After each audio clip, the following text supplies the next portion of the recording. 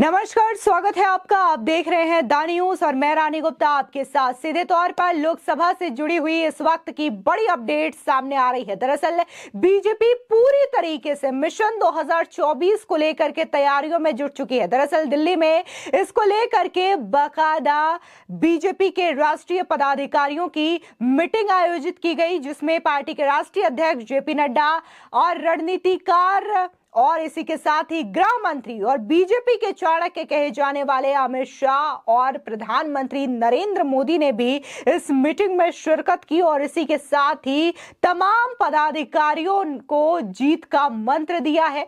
और कहीं ना कहीं ये लक्ष्य रखा गया है कि 2024 में 400 सीटें पार होनी चाहिए। आपको बता दें कि मिशन 2024 को लेकर के बीजेपी का महामंथन खत्म हो चुका है, यानी कि ये बैठक अब खत्म हो चुकी है, लेकिन सूत्रों के हवाले से बड़ी खबर सामने आ रही है कि गृह मंत्री अमित शाह ने सीधे तौर पर पार्टी के तमाम नेताओं और पदाधिकारियों को यह निर्देश दिया है कि 2024 में ऐसी ऐतिहासिक जीत हासिल करनी है कि विपक्ष इसको लेकर के 10 बार सोचने को मजबूर हो जाए। यानी कि सीधे तौर पर यह कहना गलत नहीं होगा कि 2014 और 2019 तो छोड़िए 2024 को लेकर के बीजेपी ने बड़ा एक्शन प्लान तैयार कर रखा है, बड़ा चक्रव्यूह बना रखा है कि कैसे वो 400 की सीटें पार करेंगे। और कहीं ना कहीं जिस तरीके से दूसरी ओर अगर हम विपक्ष की बात करें तो इस वक्त पूरा का पूरा विपक्ष एकजुट हो चुका है। हालाँकि वो दावे तो कर रहे हैं कि उन्होंने इंडिया अलायंस बनाई है और इसके दम पर वो इस बार केंद्र से मोदी सरकार को हटा देंगे,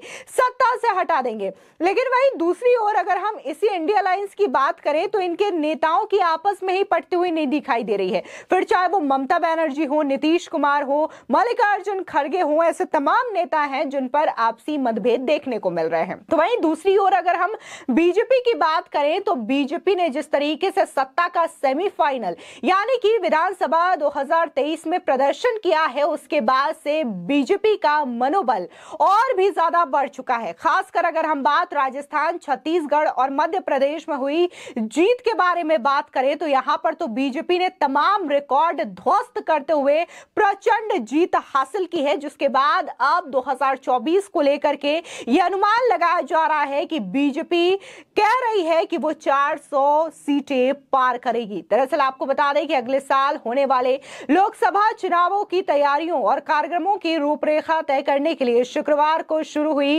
भारतीय जनता पार्टी की राष्ट्रीय पदाधिकारियों की दो दिनों की बैठक आज समाप्त हो गई है। बैठक दिल्ली में पार्टी के केंद्रीय कार्यालय में आयोजित की गई थी।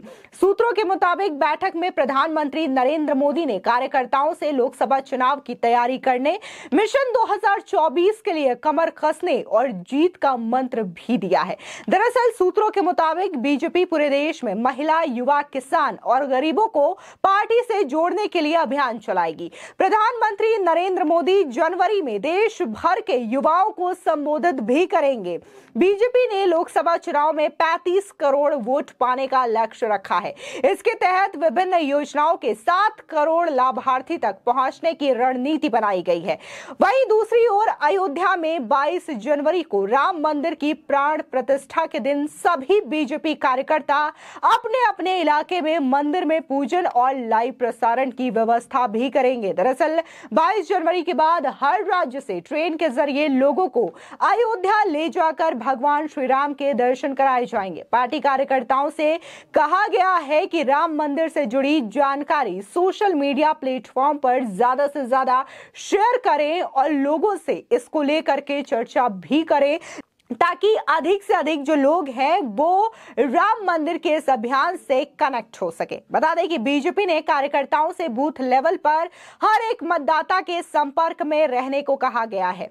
और साथ ही ये भी कहा गया कि कार्यकर्ता अपने अपने बूथ के मतदाताओं के घर जाकर उनसे मिले। भारत की बढ़ती वैश्विक ताकत और योजनाओं के बारे में लोगों को बताएँ।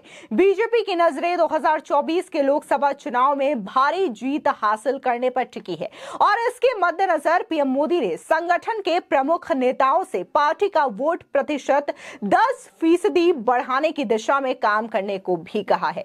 बैठक के समापन दिन पर पार्टी के राष्ट्रीय पदाधिकारियों और प्रदेश अध्यक्षों को संबोधित करते हुए गृह मंत्री अमित शाह ने कहा कि बीजेपी का प्रदर्शन ऐसा होना चाहिए कि विपक्ष स्तब्ध हो जाए।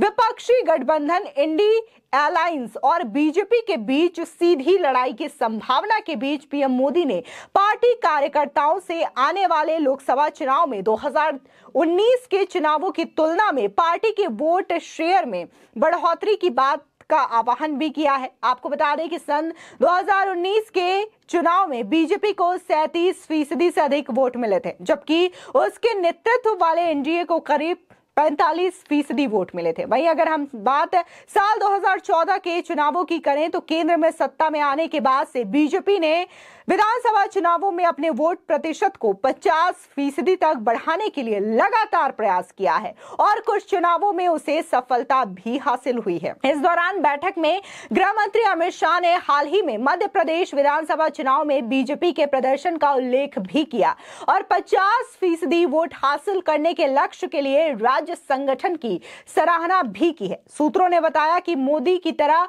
अमित शाह ने भी चुनावों में संगठन की प्रमुखता को रेखांकित किया और कहा कि पार्टी को इतनी भारी जीत मिलनी चाहिए कि विपक्ष उसे चुनौती देने से पहले कई दफ़ा सोचे। सूत्रों ने कहा है कि पार्टी के शीर्ष नेतृत्व ने जीत के लिए सीट संख्या पर कोई विशिष्ट लक्ष्य निर्धारित नहीं किया, लेकिन ऐसी जीत सुनिश्चित करने पर ज़ोर दिया है। जो 2019 के प्रदर्शन से भी और भी ज़्यादा बड़ी हो। बीजेपी ने पिछले आम चुनावों में पाँच सदस्यीय लोकसभा की 303 सीटें हासिल की थी। आपको बता दें कि बैठक में हाल ही के विधानसभा चुनावों में बीजेपी की बड़ी जीत की भी प्रशंसा की गई है। राजस्थान, छत्तीसगढ़ और मध्य प्रदेश के अध्यक्षों ने जीत पर अपने विचार भी रखे। इस दौरान बीजेपी ने मध्य प्रदेश इकाई के अध्यक्ष विष्णु दत्त शर्मा ने एक्स पर एक पोस्ट में कहा कि नई दिल्ली में आयोजित बीजेपी की दो दिवसीय राष्ट्रीय पदाधिकारी बैठक में शामिल हुआ। इस अवसर पर मध्य प्रदेश के विधानसभा चुनाव में बीजेपी संगठन द्वारा किए गए विभिन्न नवाचारों व प्रत्येक बूथ पर इक्यावन फ़ीसदी वोट पाने की गतिविधियों के बारे में जानकारी भी साझा की। कहीं ना कहीं अगर बीजेपी की रणनीति की बात करें तो बीजेपी जो है वो बूथ लेवल तक अपने कार्यकर्ताओं से संपर्क साधती है ताकि इसका जो प्रमाण है वो उन्हें इलेक्शन में सीधे तौर पर मिले। लेकिन अगर हम दूसरी ओर विपक्षी पार्टियों की बात करें तो ये भले ही ऊँचे लेवल पर बहुत सारी मीटिंग्स करते हैं, रणनीति बनाते हैं, लेकिन ये जमीनी स्तर पर जो कार्यकर्ता होते हैं, जो बूथ लेवल पर कार्यकर्ता होते हैं, वो उससे कनेक्ट नहीं हो पाते हैं और उसके बाद ये जो बूथ लेवल की रणनीति होती है, वो प्रत्येक नागरिक तक नहीं पहुँच पाती है और कहीं ना कहीं यही मेन वजह होती है, जिस कारण विपक्ष को हार का सामना करना पड़ता है। हालाँकि इन चीज़ों को लेकर के कई बार विपक्ष की सबसे बड़ी पार्टी कांग्रेस को आगाह किया गया कि वो अगर बूथ लेवल तक जाकर के कार्यकर्ताओं से संपर्क नहीं साधेंगे तो आने वाले चुनावों में इसका खामियाजा भुगतने को मिलेगा। लेकिन जहाँ बीजेपी रणनीति बनाती है और विधानसभा चुनाव हो या फिर लोकसभा चुनाव हो या फिर छोटा सा छोटा अगर पंचायत चुनाव भी हम उठा करके देखें तो बीजेपी यहाँ पर पूरी तरीके से मेहनत करती है। कार्यकर्ताओं का एक पूरा का पूरा हुजूम होता है जो कि बीजेपी के लिए काम करता है। वहीं अगर हम कांग्रेस की बात करें या फिर अन्य विपक्षी दलों की बात करें तो वो सीधे तौर पर पूरे जीत का जो ठिकरा होता है बीजेपी का, वो ईवीएम पर फोड़ देती है और ये कहती है कि ईवीएम जो है वो हैक कर लिया गया, जिसकी वजह से बीजेपी की जीत हुई, वरना तो हमारी जीत सुनिश्चित थी। फ़िलहाल इस पूरे मामले को लेकर के आपकी क्या राय है? हमारे कॉमेंट सेक्शन में ज़रूर बताएँ। धन्यवाद।